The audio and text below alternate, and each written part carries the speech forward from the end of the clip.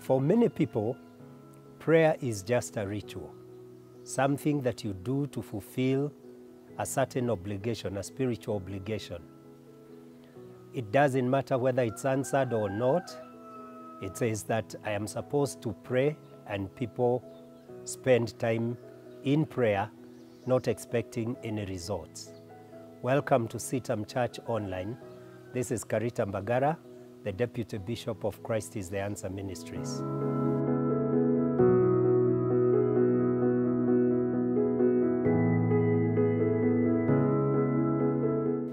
God expects us to receive answers to our prayers, but sometimes we pray and prayers are not answered.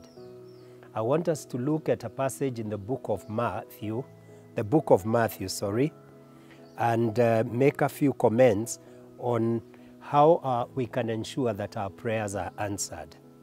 Matthew chapter 15, from verse 21, it reads Leaving that place, Jesus withdrew to the region of Tyre and Sidon.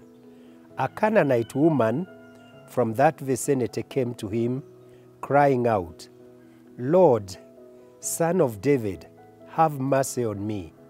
My daughter is demon possessed and suffering terribly. Jesus did not answer a word.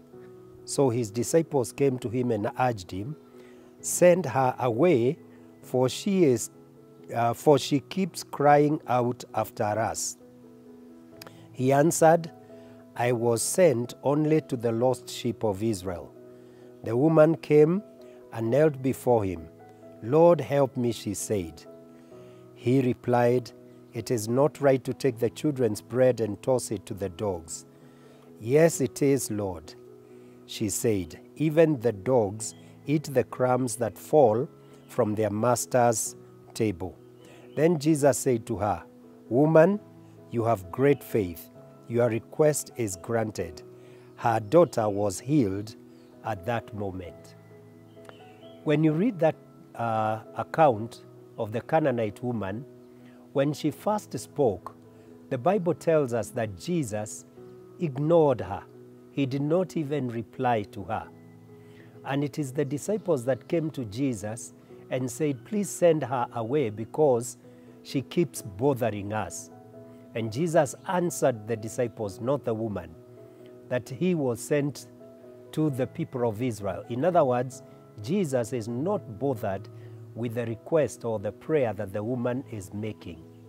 But then we are told that the woman came, according to this version, and knelt before Jesus. She came and worshiped him, according to another version. And that's where the secret is.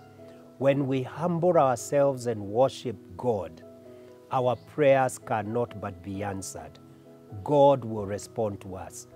That's when Jesus spoke to the woman and told her that he has only bread for the children, but there is a conversation between him and the woman. You see, the Bible says that God dwells in the presence of the worship of his people, or rather, God dwells in the praises of his people. When we learn to praise God, when we learn to acknowledge God for who he is, when we glorify him, we acknowledge his greatness and his power, our prayers will be answered. But when we come and we have no regard for him, we do not acknowledge who he is, it is likely that our prayers are going to be ignored.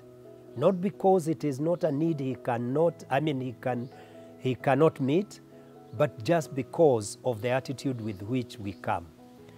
I want to urge you to learn to worship God before you pray, and you will find that more often than not, your prayers will be granted. You may ask me, but sometimes the prayer that I need to make is an emergency. I don't have time for worshiping God and adoring. I need to call Him immediately and I need help on an immediate basis. I will tell you what you need to do is to develop a life of worship so that when that time comes, the prayer, the prior worship that you did will suffice. The fact that you have a relationship will be uh, taken into account. Live a life of worship, live a life of humility, and God will hear your prayer. But the second thing that I want to point out is that this woman was persistent. She knew the starting point and she knew that she needed to worship, but she also was persistent. And this persistence shows her faith, perhaps because she knew she had no alternative B. And God sometimes wants us to show our faith by sticking with Him, that we are not busy making strategies of how we can be involved in self help programs as far as our prayers are concerned. When we know that God is the final answer to our request, then we will be persistent and we don't give in. No matter what happens, God will grant our prayers. I want to urge you go and practice this worship, persistence, or faith, and you will find that your prayers will not be denied. God will be there for you and will answer your prayers. Thank you very much. If this is a blessing to you, share it with your friends. But much more, may I ask you to subscribe because when we put out new videos, which I, believe will be a blessing, we want you to be notified.